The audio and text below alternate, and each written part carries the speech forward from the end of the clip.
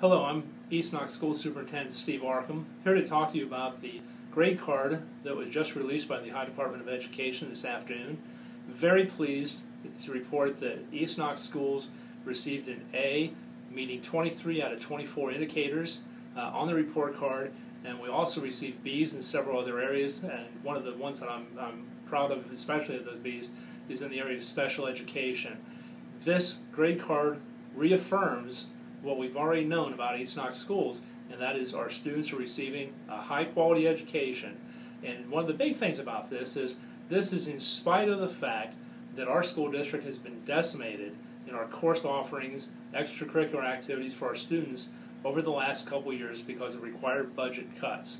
I'm very hopeful that voters will look at this report card. It'll be available on our website.